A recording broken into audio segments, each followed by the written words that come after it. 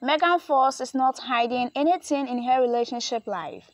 During an interview with WWD, which was published on November 29, Megan gave more details about the struggles she has faced in her relationships.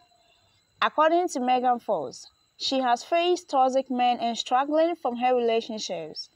The actress revealed that having sons makes it very important to her to raise her sons to be different from the men she has been with adding that the way she is going to instill that into her sons is that she is their first introduction to women, and the way she loves them is going to influence the way they are allowed to love others when they go out into relationships. Further sharing that it is also very important to her to raise boys who are able to have a very deep emotional intimacy with their partner. It is very important to me that they are not liars that they are able to be fully transparent and honest and respectful and experienced at some point in their life.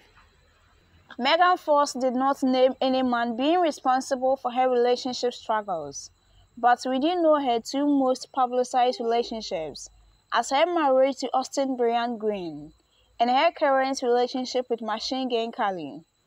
Megan and Austin Green might have experienced something similar leading to their divorce after 10 years of marriage. With her current relationship with Machine Gun Kelly, the two have been giving each other breaks and always end up getting together again.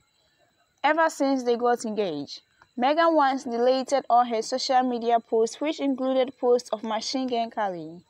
However, they got back together, had different issues, and got separated for a while but they are currently together. But it is not clear as to how strong their relationship is.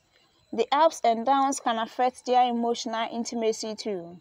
Let's know what you think about this video and thanks for watching.